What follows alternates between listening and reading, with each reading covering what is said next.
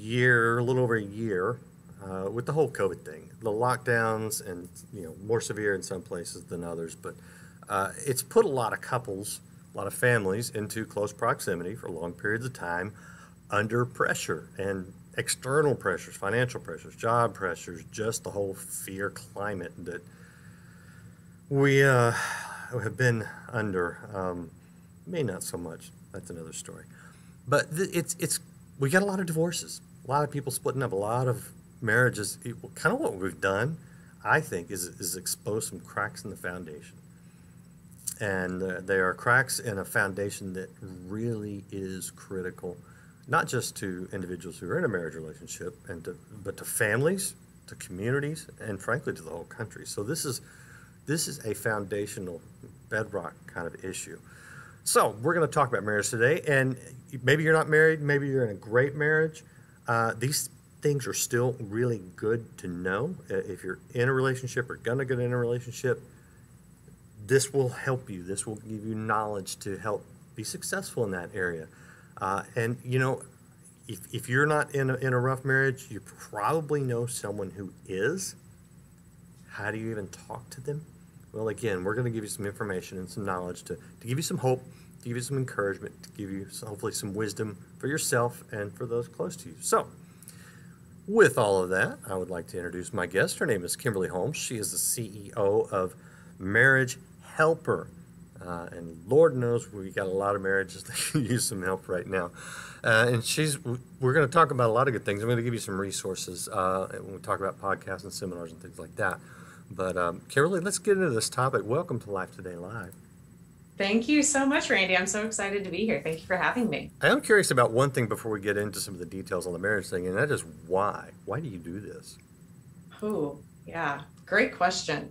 You know, the reason I do this actually stems back to let's go back uh, over 30 years ago, and it'll all make sense as I tie it together. But it was actually in the 1980s, before I was born, that my parents were married. They had been married at that point around 15 years, and they had my my two older sisters. And um, my dad who was a very well known man at that time. He was actually a preacher and he was a very well known preacher in the denomination that he was in. Well, he ended up believing that his life could be better if he were no longer with my mother. And it was one of those classic, he felt like the grass was greener on the other side and and left to honestly go and be with someone else. And they divorced. They were divorced for 3 years. And during those 3 years, he would tell you himself that he did things he never thought he would do, went places he never thought he'd go, and became a man that he never thought he would be. And towards the end of that three years, he realized that he didn't even like who he was anymore. But even more than that, that green grass he thought that would be on the other side of that was not green. It was brown, it was dying, it was not what he thought it would be. So he actually went back to my mom and asked her if she would take him back. And she had already begun to move on. She was dating other people. Uh, they had been divorced for three years. And everyone in her life told her to not do it. Her family, her friends, they said, You're happy now. It's it's over. Why would you go back to that? How do you know you could ever trust him again? But my mom said, I just knew in my heart that he was a good person who had done some very bad things. But I believed it was the right thing to do to try and make this work. And so she took him back. They got remarried and they did not love each other at first. So they got remarried, even though they did not feel those feelings of love at the beginning, but they were dedicated and committed to try and figure out how to fall back in love and to make it work. And they did. And so, with the help of, of friends, of, of many different things, they were able to fall in love. And they had me as a celebration of that second marriage. And so, in one sense, Randy, I owe my existence to the mission that we do at Marriage Helper.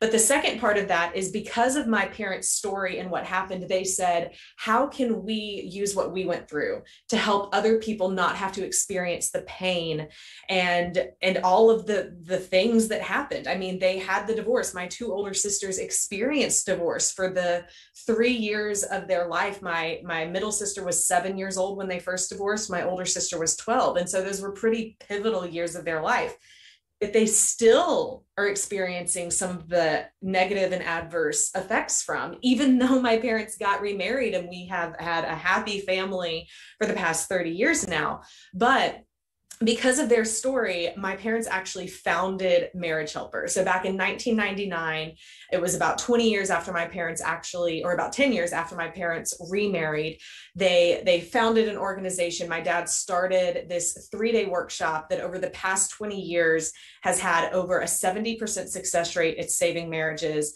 We've had thousands upon thousands of couples go through it. We use the best research combined with knowing that it actually works in the lives of people.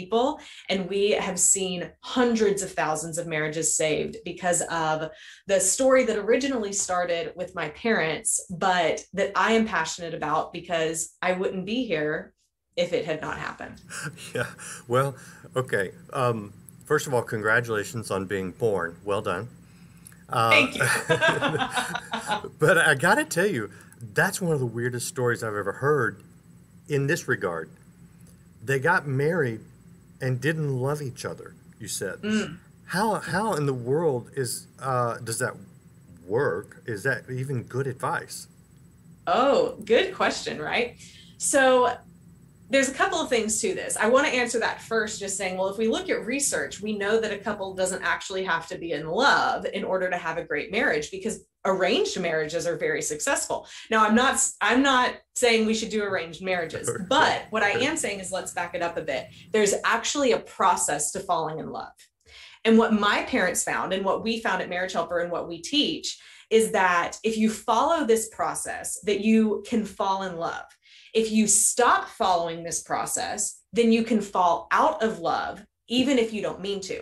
So, an interesting part of this is my parents did fall in love at one time, right? So, the first marriage that they had, they had fallen in love. They they had all of those feelings and experiences. So, they weren't going into this completely blind. They just didn't have those feelings of love at the beginning of their second marriage because trust had to be rebuilt um, I mean, all of those things kind of had to happen again, which they believed could happen, which is why they took the chance. But they didn't go off their feelings when they made that decision the second time. They went off what they believed was the right thing to do for them, and especially for my two older sisters at the time. Uh, that's very interesting because, you know, I, I know everybody's like, you don't get married if you're not in love, you know, I mean, but so the idea that you can do something to to follow that you can build love, you can create love. Nobody would argue the, the opposite. Nobody would argue that after years of marriage, you can fall out of love and, and just not want to be around this person. I think everybody's like, yeah, I totally get that. So it's, it's actually interesting that you're saying the reverse is, is true as well. Um, love, you mentioned the word feelings, and that's a, that's a mm-hmm. trigger for me. Uh, mm. How What's the role of feelings in a good marriage, do you think? Hmm. Hmm. Well, when we are first starting in a relationship, feelings are all over the place. And right because we feel very good things there's excitement there's novelty there's um, intrigue, mystery, because you don't know as much about this person. It's all new. And so as we're going through those first stages of a relationship, and that's actually the first part of falling in love, there's actually four stages. The first stage of it is attraction. Now, attraction is more than just physical attraction. There's actually four areas of it, but at the at the basis of attraction is it is what makes me want to move closer to someone. So there's something about them that I'm intrigued by. I want to know more. I want to get to know them better. I want to move closer. There's a lot of feelings in that. Now, attraction never stops being important in a relationship, but here's what typically ends up happening. The longer you're with someone, you just, you had shared with me that you and your wife are about to celebrate a very marked anniversary. 30 years, 30 years. 30 years, which is amazing. And my husband and I just celebrated 10. So a third, a third of what you you're experiencing. But both I, am not going to speak for you. I can say that after 10 years of marriage, goodness, even after probably three or four years of marriage, the feelings weren't the same towards my husband as they were when we first started dating. They changed. And, but here's the thing if I continue to go by my feelings, well, I no longer feel that spark when I look at him. I no longer feel that intrigue and mystery. So maybe I'm bored or married, maybe I married the wrong person, or maybe, you know, those are the things that th- that's when feelings can lead us astray. If we try to make lifelong decisions based on feelings, when in reality, there are days I feel like I do not like my husband. I love him, but I definitely feel like he may be a jerk on that day. And oh, he yeah. feels the same about me, oh, right? Like oh, we yeah. can we get on each other's nerves at times. Sure. But I don't want to make long-term decisions based on short-term feelings because it's not the feelings that matter as much that I have towards my husband as much as it is the commitment to do what it takes to make our relationship work long term. I could not agree more. Uh, and I made I made some kind of comment years ago about uh, it was probably a Valentine's Day, which I always forget uh, about you know well it's not about love it, it, it's about commitment you know and my wife kind of was like you know are you saying you don't love me it's like no, right. no, no. why and we hate the commitment word in most of culture today. Mm-hmm. Uh, why is why why can you not separate love and commitment if you want the love to remain? Oh, yeah. So, love without commitment is like jumping out of a plane without a parachute. It feels extremely exciting while you're doing it, but it ends very badly. That is awesome. it's so true. It's, it's so, so true. true. It's so true because we even see this. I mean, you see this with when celebrities get divorces. I mean, we see it with regular people too, but it's noted in a society when it happens where, or even when they don't get divorces, when they never get married. They've been together for four or five years, but because they find someone else who's attractive or or whatever they decide that, that they want to be with someone else they can just end it so quickly. When you have a mindset that i can i can leave this when it gets hard or if i get bored or if there's some, something else that comes along that's a better attractive alternative then you're not going to put the same work into it as you do when you're committed. Think about it like home buying. You said that you were working on the working on your house you're all about to move there's a difference in the mindset between renters and buyers. Buyers are committed. They're in it long term. When when something breaks they fix it because they have to. Yeah but true. when you rent there's always an exit plan. Wow. and you're not going to take the same care of the house as you would as if you owned it. And it's the same in our relationships. It does not change. So that's why you won't see this in popular news but research is very clear that when couples cohabitate before marriage, it actually decreases the satisfaction of future marriages, the likelihood that their marriage is going to be strong and last a long time. It increases their chances of divorce because now they have lived a life of basically having the quote unquote benefits of being married without the commitment of marriage. And that never leads to a good ending. You know, I, that that is such a strong illustration, the renters versus the buyers. And I'll tell you a couple of things that, that immediately come to mind. Yes, I do fix the things. The other thing I do in the house that I own is I, I upgrade. I'm continuously looking to improve. Yeah. If you rent, you're not doing that. You're not putting the investment into it because it's really, you, you don't own it. And I think a lot of I mean, I know I've been guilty of this in my marriage. Is is not, you know, how can I improve? How can I upgrade? How can this be better? Uh, and the other thing, and my daughter said this to me last night. She was visiting. She's about to get married and move out of state. She said, as we're as we're packing things, you know, she said, I, you know, this I'm not going to have my home anymore. And I said, well, sweetie, you're about to go create your own. You know, she mm. goes, Yeah, I know, but she's been there since she was three years old. So this is the house that she grew up in with her four older or three older siblings. Um, and and when you when you have that sort of ownership of something, you have the memories. Mm-hmm. Uh, you you have the attachment that again in a rental house, you, you don't have that that kind of thing. I I just yeah I love that. I, I have I want to move, you mentioned there's four stages. So when when the feelings go away, and it, I don't know where you are in your marriage, you guys watching, but there will be days where the feelings are not there, and there will be days where the feelings are actually kind of negative. Uh, and you start to have thoughts, and you have to decide what to do with those thoughts. Of is this even right? Did I make a mistake? You know, and you know, 99 times out of 100, no, you just need to get your head right. What, talk about those four stages of fall, falling in love. Is that right? Is that the right terminology? Yes. Because I think this is Yes. important. This will help people.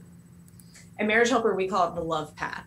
Okay. And so it has the four stages. The first one, as I mentioned before, is attraction, which is comprised of four areas physical attraction, intellectual attraction, emotional attraction, and spiritual attraction. So we call it the pies, which is super fun because people who don't know about it are like blackberry, pecan, chocolate, like what kind of pies? Yeah. Not those kind of pies, but good for you in a different way.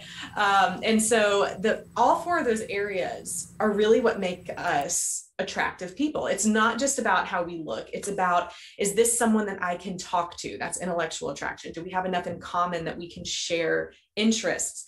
Emotional attraction, this one's huge. This one is does this person evoke an emotion within me that I enjoy feeling? When you're talking about a long term relationship, that is key. Someone can be a supermodel, but if they don't evoke emotions within you you like feeling, you're not going to want to be there. Spiritual attraction basically doesn't, it could have to do with faith. And definitely, we see from research that couples that share similar faiths or similar beliefs and values end up having better marriages and stay together for longer periods of time. But spiritual attraction on a personal level has to do with do I live in line with my beliefs and values? Do I have strong beliefs and values? Do I stand up for them? And all of those are what, those areas are what make up how attractive we are. And so, as we're talking about how to fall in love, the process of falling in love, even if you're already married, on a daily basis begins with you. So on a daily basis, it begins with me. When I want, when I'm thinking about how can I make my relationship better with my husband, it's not by making the laundry list of here's all the things he needs to change. Because I tried that, it doesn't work. Ins- Instead, what works is saying, what can I do continue to continue to be a better version of me? What are the things inside me that needs to change? So that is number one. First stage and step of falling in love is attraction which leads to that second step. So after we want to move closer to someone, want to get to know more about them, after we're attracted to them, the next thing is wanting to know more about them. And this is the part where we have to decide do we accept the other person for who they are without wanting to change them?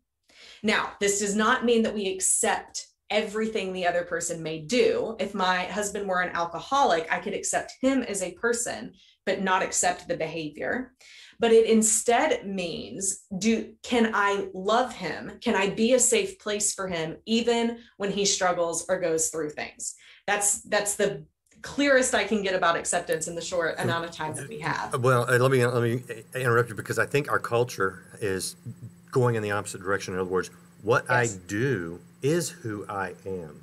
Mhm. And you're suggesting that in order to have a healthy relationship and, and really maintain the attraction and, and build love, that we have to be able to separate who someone is from what they do.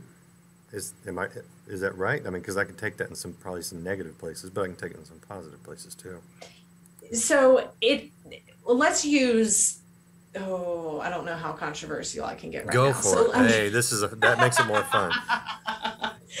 let's it. talk about society let's talk about some of the things going on right now so there have been um just even if we just let's just look at the political part of it right so if there's someone who is very republican and they have someone maybe their neighbor who's a democrat there seems to be more of a split now of well if that's what you believe then you are a bad person or if or the opposite way right Yes, It- it's yes.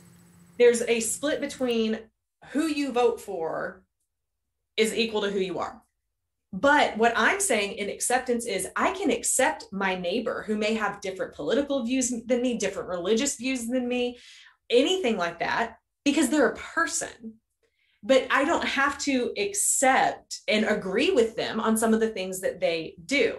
Um, and I think that's what we're missing. We're saying, well, if this person doesn't do what I want them to do, then I need to cancel them or I need to shut them out or I shouldn't even, uh, you know, have a relationship in any way with them. Now, I'm not saying that we need boundaries. I'm not saying we don't need boundaries. Yeah, exactly. Right, right. There should be boundaries. Yeah. And that's different. I can accept my husband. So if my husband, again, going back to the alcoholic thing, if my husband's an alcoholic and he's doing things to put himself or my family in danger, I draw boundaries around that. I'm not saying that's okay, but I'm still saying as a human being, I see your value and I respect you. And I'm not going to let you do things to hurt me, but I'm going to help you try and get help. Yep. And and that's where that's kind of that's kind of where it yeah. is. yeah. Yeah. Well, you're you're you're you're suggesting that we be required to have some some depth and some intellect, and uh, and not just be uh, shallow and um, uh, what's the word? Just kind of rush to judgment and so black and white. There's some gray areas in there and, and nuance and things like that, which yeah, it couldn't be more yeah. true. Anyway, please continue. Well, let me share let me share a story that I think embodies this a little bit better. We had a man call us. This was several years ago now, and um, and he said, I really need help on getting to a second date. So he wasn't married yet, but he couldn't ever get past the first date. To which we said, Well, then tell us what's happening on the first date that's leading women to not want to go on a second date with you. He said, Well, you see, the thing is, I'm a cross dresser. And when I tell, and I feel like I need to tell women that on the first date because I don't want them to be surprised. I don't want them to us to get down in the relationship and then and then then uh, see this about me and then they end up leaving anyway. I feel like I need to be real with them up front. So then we asked him, Why are you a cross dresser? To which he said, Because when I was six, my dad was abusive. He would beat me, he would harm me. He there was one time that he even drugged me behind his car, but he never hurt my sister. Never laid a hand on her. And so when I dress up like a woman, I feel safe. Now, did your reaction about that man, your judgment of him change once you understood why he did what he did, as opposed to just knowing what he did? Uh, yeah, uh, but it also makes me think he needs still real psychological help. He does. yes, so he should. He experienced trauma in his past. Sure, that sure. does bring compassion. Yeah that he needs to get forward. But when we look at this through the lens of acceptance, if there's a difference in just knowing something about a person and then wanting to change it. So if that were me, if I was the woman, then I'm sure if he told me that, that on the first date, I would say, that's not something I accept, right? Like, I don't know how I could accept that. How to, I don't know how to move forward from that. But if I knew why, if I understood why, I would realize this isn't something I need to change about him. This is something, this is, there's a reason he feels this way. There's a reason he does this. I can accept him for who he is, even with this behavior that I, I would not find ideal for a relationship, but I can accept him for it. And that's the key that we're looking at here. There's one thing, it's one thing to just know what someone has done in their past and things like that. It's another thing to know how they feel about it now or how they felt about it when it happened. That's what's going to tell you more about the person. And that's what allows you to accept them, to understand them and and that's key. So even then I don't have to agree with the behaviors, but if I can at least accept and understand why they're happening, it can help me to to understand and then be a safe place because the last thing you want to do is is have that kind of situation and then i'm constantly if like if that were my husband and i didn't understand why it was happening or i wasn't accepting the fact that he did that. And instead of helping him to get help and seeing the reason behind it if i were attacking him for it or berating him for it that's not going to help the situation if i just continue to try and make him change. Yeah. It doesn't work. No it doesn't work. Boy that's good. I, I need to tell people we are talking to kimberly holmes the ceo of marriage helper and we're getting into some of the nitty gritty. This is these are the details that will really help you. This is the website, by the way. It's uh, marriagehelper.com, and I will throw that in the chat. And I just clicked on something, but there are lots of resources here. In fact, they just relaunched their uh, relationship radio with Dr. Joe Beam and Kimberly as well. Uh, and so there's podcasts out there. There's uh, you guys do seminars and things like that. Um, we do, yes. Yeah, tell us a little bit about. I, I, now, well, okay. You know what? The great thing about my clock is it kind of doesn't matter. So as long as you got time, if you if you can get to the rest of, of the four steps uh, in the attraction thing, uh, I, I, I will hang around and hear it. Um, but if you need to go, I want to respect that too. Um, let's do it. But I let's, do want to tell. I, I just want to make sure we hit the seminars at the end here. But yeah, keep going though. This is so good. Okay, great. So, attraction is the first step, acceptance, second step. The third step of falling in love is attachment. And this one is real simple. I mean, it's grounded in some really great research. Attachment theory is a really great one. Um, we use a bunch of that, that that explains why this works, but you don't need to know that. What you need to know is that attachment is basically this one thing I will be there for you when you need me. That's it. Because that is how we gain trust that is how we continue to show we're committed. That's how we show love in action. It's not just words and feelings. It is, I will be there for you when you need me. I will be there for you physically. I will be there for you intellectually to talk to and to, and to have that shoulder to cry on. I'll be there for you emotionally to help you through things. I will be there for you spiritually to help you get back online with your beliefs and values, to be that person to, to, to be that sounding board, that iron that sharpens iron for you. It's the bottom line. Attachment is key because it is what solidifies a relationship together and will keep it together long term. I'm gonna I'm gonna generalize here, and I, I recognize that up front. But do you find that this is the one where men go yes, and then they have no idea how to do it? Oh, that's your generalization that men yes. don't know how to do this. Yes. Okay. yeah. And, and, and I'm generalizing based on myself because this is the woman that I, I'm, I'm sitting here nodding my head and I'm going, oh, I've totally just not done that in so much of my life. I've been completely blind to it. That's the thing. It's not willful. It's it's blind spot, big time blind spot. Yeah. So that's interesting. I mean. I do think I do think when we look at attachment theory, it's interesting that much of it comes naturally to a maternal nature mm-hmm. because because women are made to be the first attachment to their children. So I do think in some instances and in some ways it does come more naturally to women. However, I am not the kind of person to generalize between men and women. So I'm opposite of you. And I'm going to say it probably has more so to just depend on the person because there's definitely this comes on both sides. But if you're looking for some of those ways of how can I be there? So how can I show the other person that I'm there for them. Some of the quickest things are number one, time together. And this isn't quality time, this is quantity time. Because the more time you spend together with a phone not in your face yeah. or a screen not in the room, that is going to help you attach to the other person. Mm-hmm. Can I have can I have the game on at least? Can I have a distraction in the background? right. Can I do something? Um, no. it's